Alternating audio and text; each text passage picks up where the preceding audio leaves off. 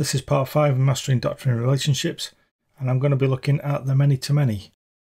The example I'll use will be that of users and interest groups. So by the end of this, we will have created three tables in total one for users, one for interest groups, and an intermediary table which sits between the two.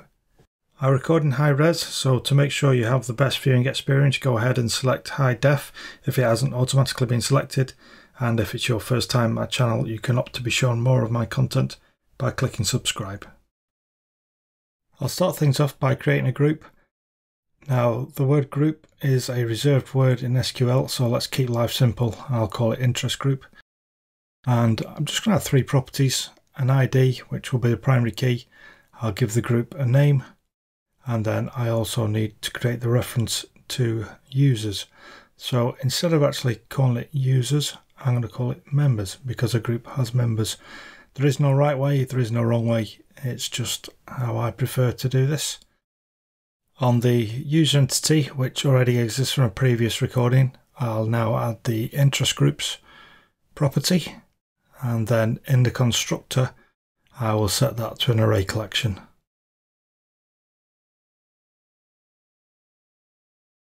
And by doing that, it just gives us a bit of extra power when it comes to uh, querying and filtering than if we had just a normal array. And so before I start adding annotations and all that doctrine stuff, I just want to make sure that my API is good and that it reads well. So I've generated my getters and setters and I'll check those out. So instead of saying set interest groups, which you'd never do, a user would join an interest group. And so as a parameter, it'll take an interest group and I'll not fill it in just yet. I'll come back to that shortly. Just like I did with the user entity, I'll fill out my constructor and I will set the members on the interest group entity to a array collection, generate my getters and setters, and I'll do it for all three and just delete change what I don't need. So set members, that doesn't sound right. What you would do is add a member to the group.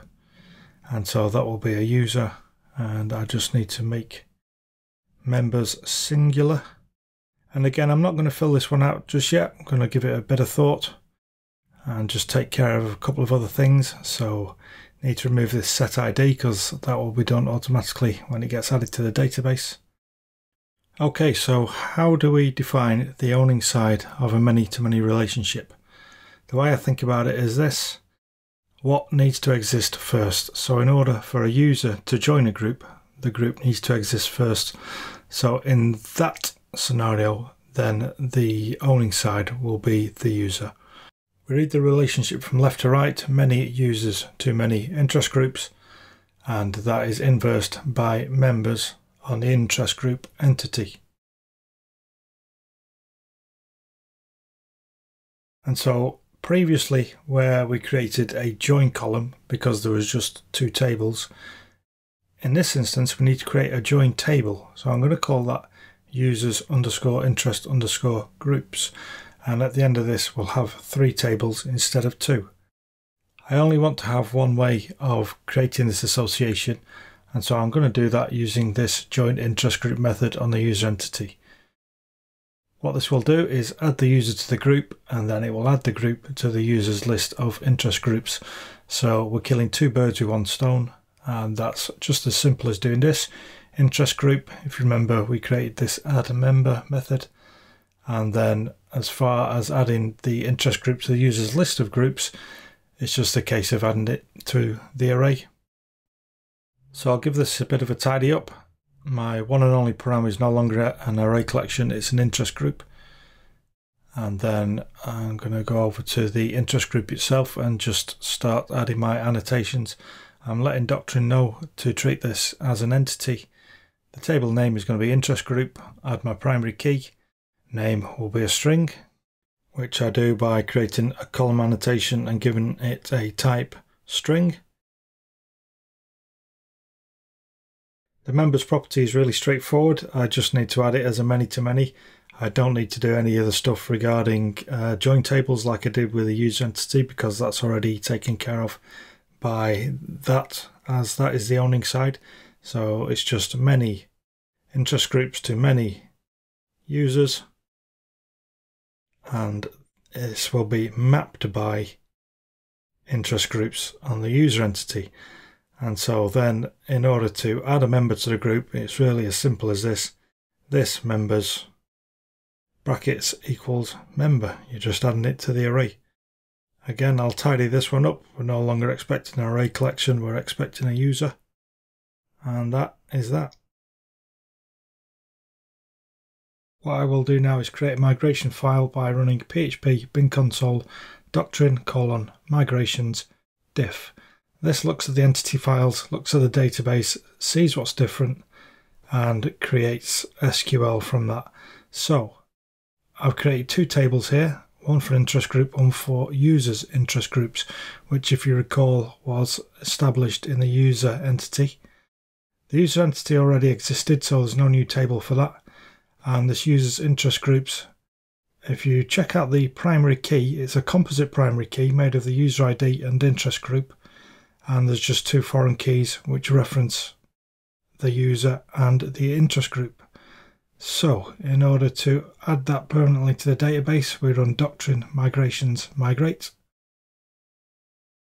Asks if you want to make permanent changes. The answer is yes. I'll go over to dbeaver and see what's happened. I'll check out the user table first. So still just the two fields. If I look at the foreign keys, no new foreign keys have been added. We've still just got one remaining, which reference the address table from previous recording. I want to check out interest group. And so two fields created, ID and name. If I look at the foreign keys, no foreign keys have been created on that table. So I'll check out users interest groups. And as we can see here, two foreign keys, one which references the interest group table and one which references user and also just two fields user ID and interest group ID. And if you look at the key column you'll see that both of these are primary keys they're what we call a composite primary key. Let's take this for a test drive now so I'll just create a method in the controller many to many and I need to first create a group. So let's have a Kung Fu group. So Fu group equals new interest group. Need to give it a name.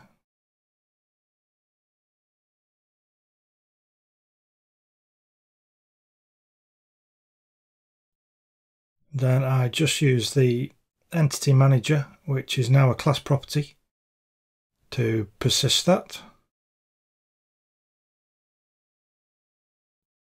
Now I'm going to create a user to join the group. So user equals new user. In fact, I'll call it member, a member of a group. Member equals new user. And then I'm just going to say member join interest group. I pass in the name of the group, persist that with the entity manager, and then in order to make those changes permanent, you just need to call entity manager flush. Because remember, by calling entity manager persists, you're not actually making permanent changes to the database. You're just bringing your entities under the management of the entity manager. I'll give this a route name. Many to many. Over to the browser, many to many. Okay, user 6 has joined group 1 because I already had some users in the database. Let's go to dbeaver and check that out. So I'm just going to do a couple of queries to see what's been created. Check out the interest group first. So there you go. One interest group with the name NYC Kung Fu Group. Let's check out users, uh, users interest groups rather. So there we go. Now we have a user ID and we have an interest group ID. But here's a question I'm often asked. What if we want extra fields? For example, what if we want to keep a record of when the user joined the group? How do we handle that? Because if you recall, the table was just created by adding this annotation to the user entity, so we seem quite limited. I'll show you how to take care of that in the next instalment. Hopefully you found this recording useful. If you would like to be notified when I release more content like this, all you need to do is subscribe and click the notification icon I release new content at least every 10 days, and details of my upcoming schedule can be found in the comments on my homepage.